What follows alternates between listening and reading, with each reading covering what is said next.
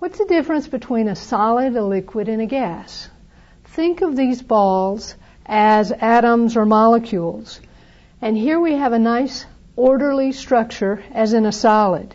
If we add energy, the molecules vibrate, but they stay in relative position. So there's kinetic energy, their motion. If we increase that kinetic energy and give them more, you can see more motion. And now we have a liquid. We have even more energy.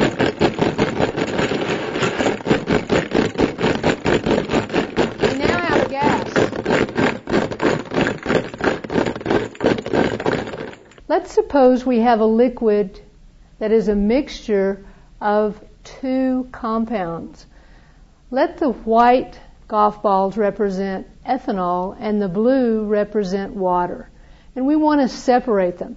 At this point, you see there are 18 white ethanol molecules and only four water molecules.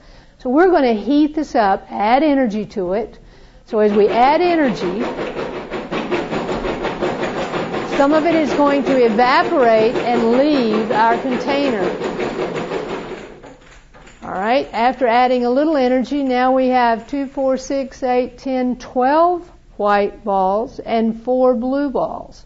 So let's try again. Add more energy.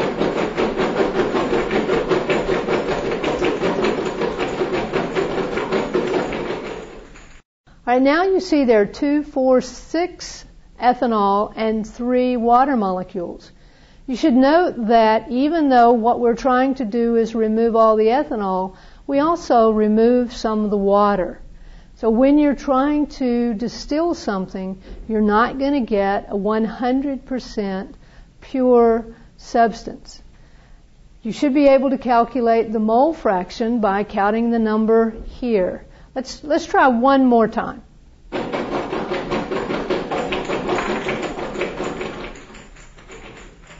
All right. We're even more concentrated with water now. We have two ethanols and three waters.